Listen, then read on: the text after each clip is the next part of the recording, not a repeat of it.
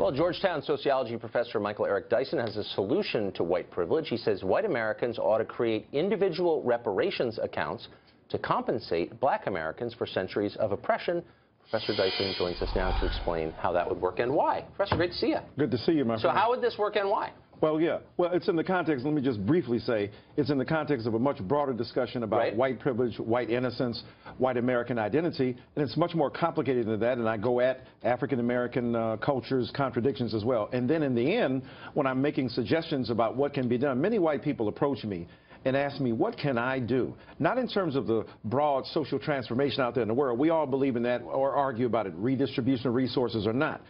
But when people ask me, what can I as an individual do, one of the things I suggested, besides being educated, besides participating with other African American and Latino and other brothers and sisters in social movement, is to do something called an individual repair of uh, inequality. And if they feel inclined to do so, this is for people who are so inclined to seek out a way to compensate uh, individually for what they think is a systemic injustice. So I talked about buying kids computers, um, being able to take kids to school, uh, to tutor them, to be able to do individual things that are tailored to their uh, desires and aspirations, Right. such as becoming professionals, uh, exposing them to things they wouldn't ordinarily see. So in other words, it's a, a kind of ethic of compassion joined to a sense of conscience that motivates them to do what they're mo motivated to do. Well, so I support a lot of that. I mean, I I believe in charity. What I don't believe in is collective guilt. And that's why I'm confused by the phrase white privilege. Well, white privilege doesn't suggest guilt. It suggests responsibility and accountability. The same accountability that America talks to No. about people pulling up themselves by their bootstraps and addressing their, their, their, their situations, their communities as being responsible for doing what they're doing. I don't, I don't believe in collective guilt, but I do believe in collective responsibility. Responsibility and guilt are synonyms in this case. And let me just ask. Mm-hmm. let's be specific. So, um, privilege. I, I'm privileged, and I wouldn't deny that, not because Sure. I'm white, because I have a good paying job. Mm-hmm. But you're privileged too. Of course So we live near each other in a nice neighborhood. You're rich. You went to an Ivy League school, unlike me. Mm-hmm. Um, And so you're a, way more privileged than most white Americans. Well, so why would they owe But it's not something? Well, it- first of all, privilege is contingent upon the context in which it's defined. So individual cases could could have a, an imbalance that people of color could be way more privileged, as you talked about, than the average, say, white person.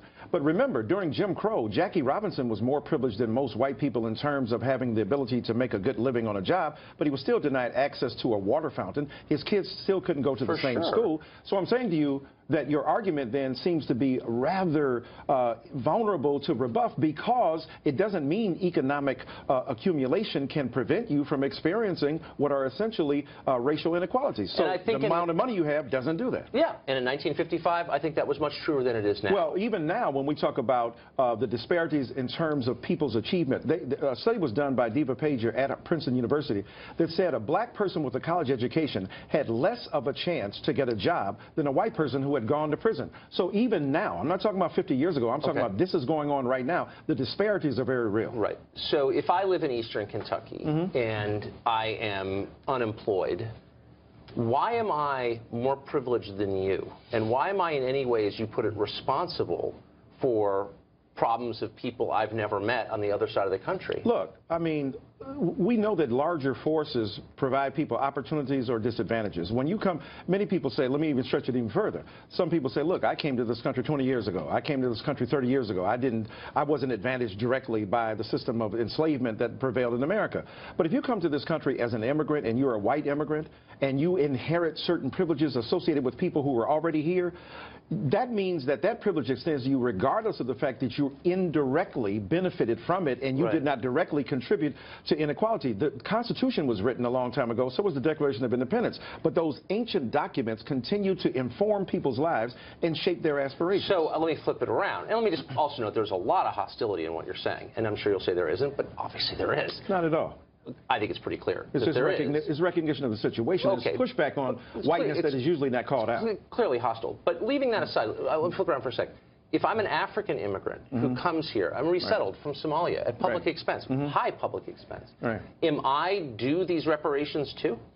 I think that the people who have benefited from uh, systemic inequity in this country have been overwhelmingly white brothers and sisters. And what I'm talking about is a direct relationship to a notable and a documentable and an empirically verifiable system of inequality. There's, no, there's nothing uh, that's very obscure about that. And I'm saying to you that people of color who are here now, who have inherited that legacy as a result of their black skin and their relationship to black culture, Okay. have to be acknowledged. Well, wait, but, but, I but mean, my book, but my book, my book is not simply about reparations. You're reducing I, I know, it I know that to it's, one I know that it's, not, but so it's, much it's, larger it's and heavily about than that. privilege. But let me just, I, really it's about we're almost out of it's time. about white refusal to acknowledge if a responsibility. majority white country brings Mm-hmm. in a black African at its own expense, they still owe him reparations for slavery? No, I'm talking about the people who are here. That's a that's an isolated event. I'm talking about the mass, the majority of African American people who are here, who are right. part and parcel of what this country has been, and who have built it in its institutions to become what it is now.